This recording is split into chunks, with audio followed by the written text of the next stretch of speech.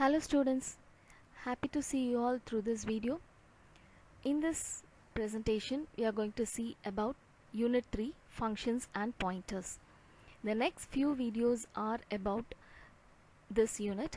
We have more topics to cover in this unit, so the remaining videos will be covering the entire unit. The first video is about the first topic, it's nothing but the introduction to functions. Function is a term that you have heard already and we have used already in Python programming. So it is not something new.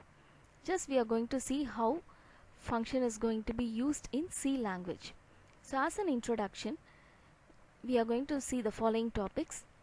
What is a function and the need for functions, benefits and uses of function, functions in C, the different types of functions and the different parts of the functions.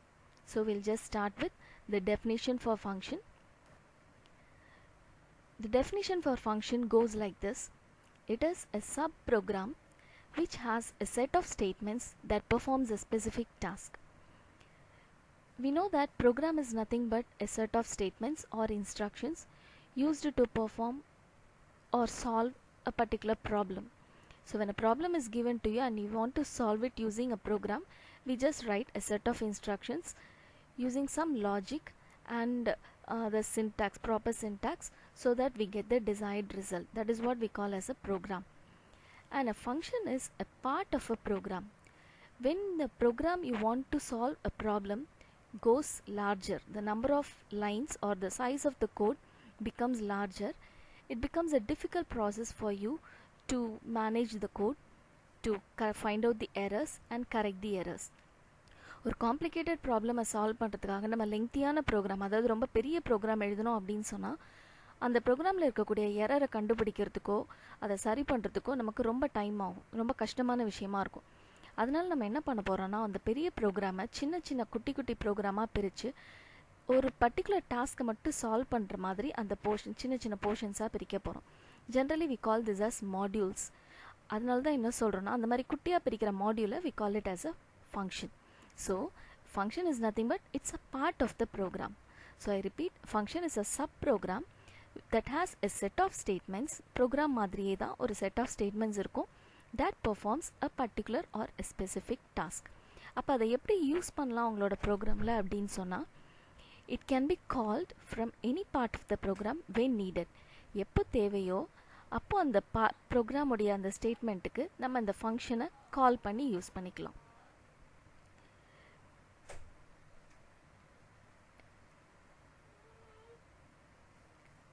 the next thing is why do we need functions so function எதுக்காக நம்ம ப்ரோக்ராமில் use பண்ணணும்?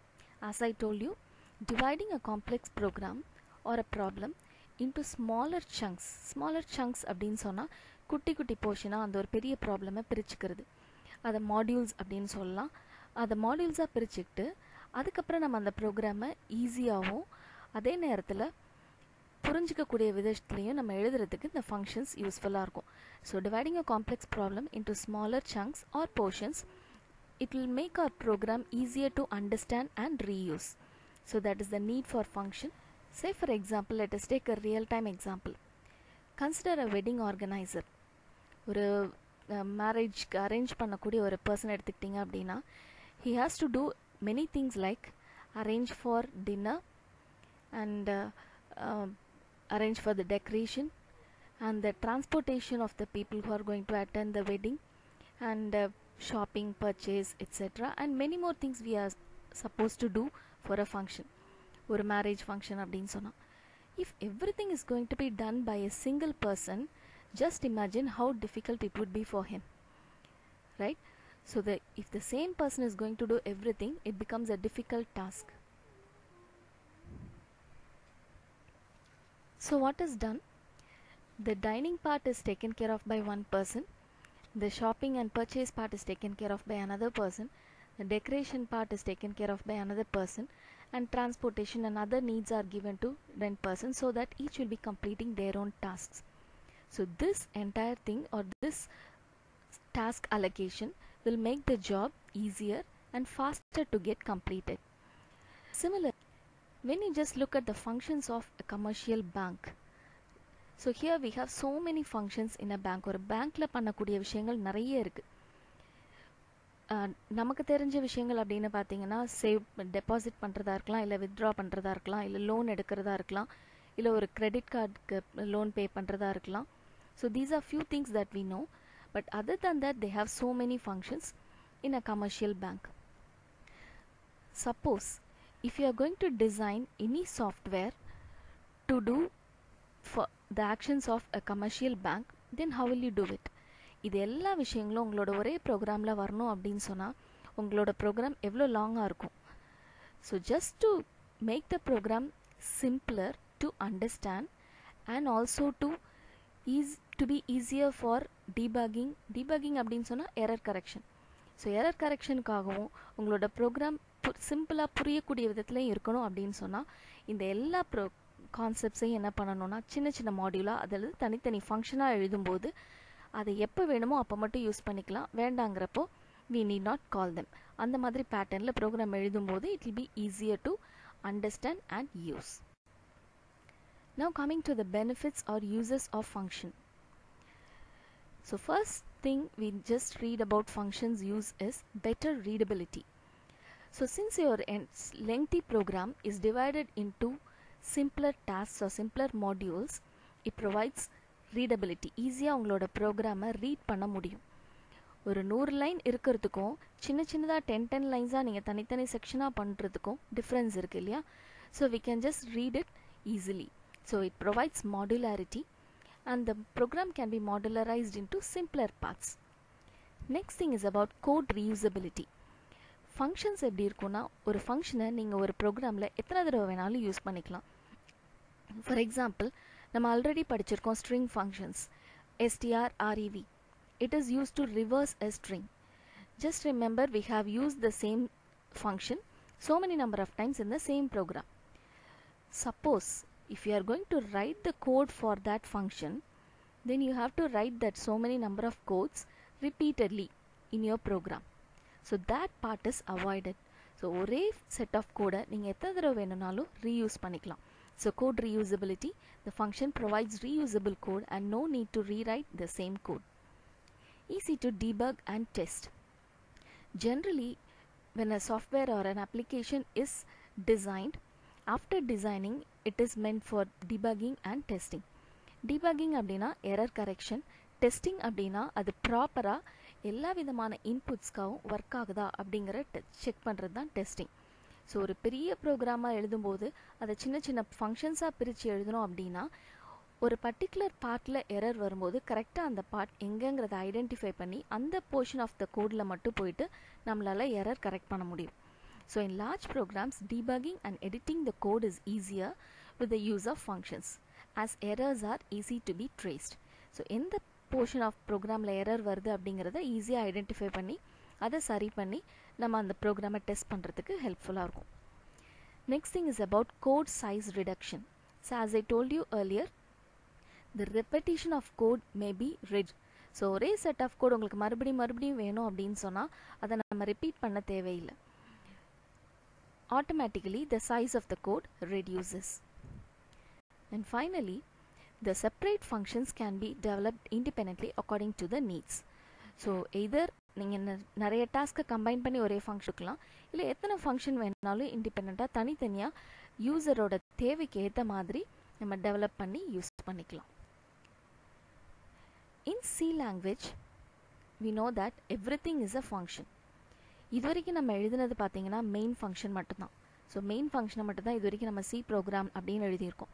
so any C program has at least one function which is nothing but the main and we all know that the program execution starts and ends with the main function so மெயினில் தான் start ஆகும் மெயினோடைய அந்த last closing ப்ராக்கெட்டில் தான் ஃபங்க்ஷனோட execution end ஆகும் and next thing is ஒரு ப்ரோக்ராமில் எத்தனை நம்பர் ஆஃப் ஃபங்க்ஷன் வேணாலும் நம்ம யூஸ் பண்ணிக்கலாம் apart from main so main கம்பல்சரியாக இருக்கணும் apart from that we can use any number of functions in a program And each function has a set of statements enclosed by a pair of curly brackets similar to the main so void main அப்படின்னு எழுதினோடனே நம்ம open curly bracket போடுவோம். அதுக்கப்புறம் set of statements எழுதுவோம்.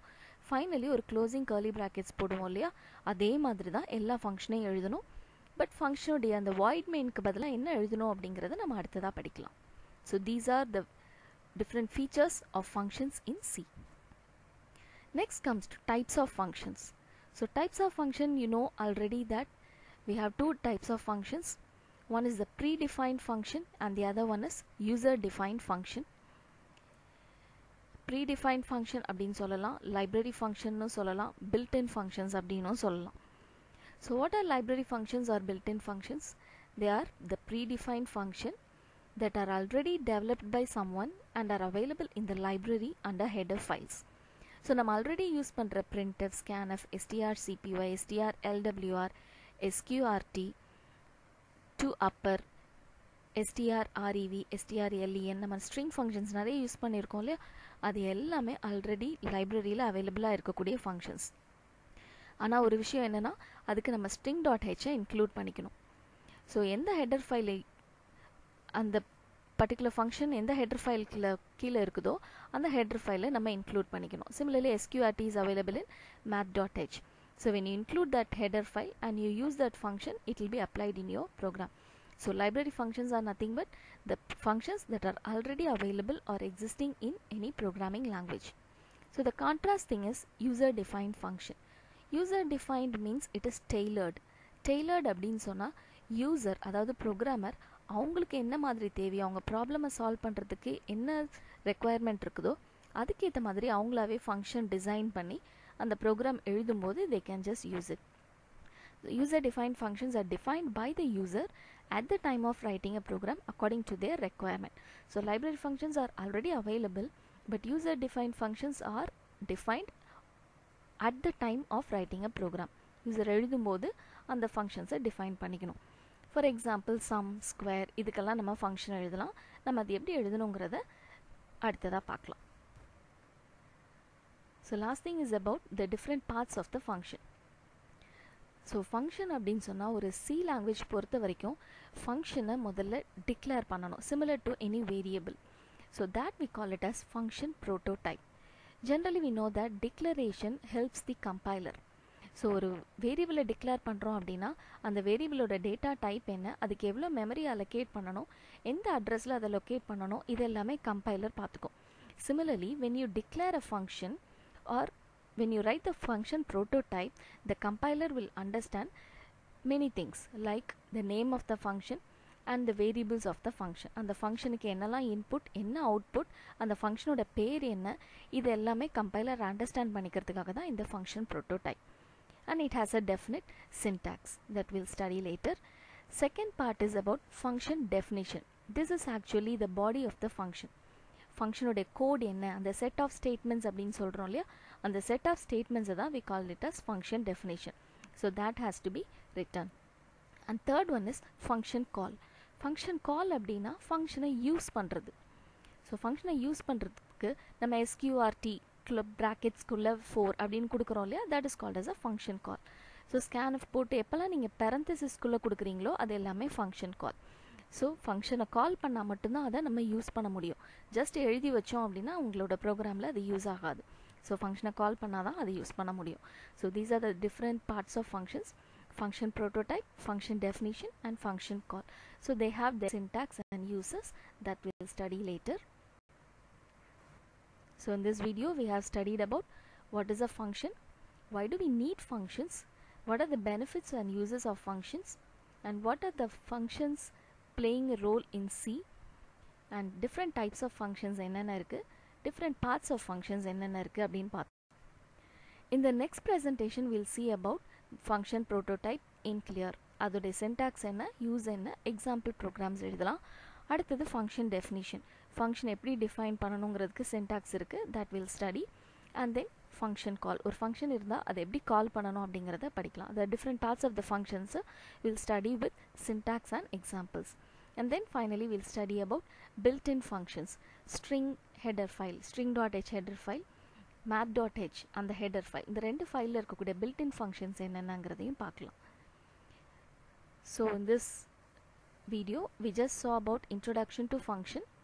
If you have any doubts with this presentation you just text me we'll, I'll just clarify it for you in the next subsequent videos we'll see few more examples of writing program use function.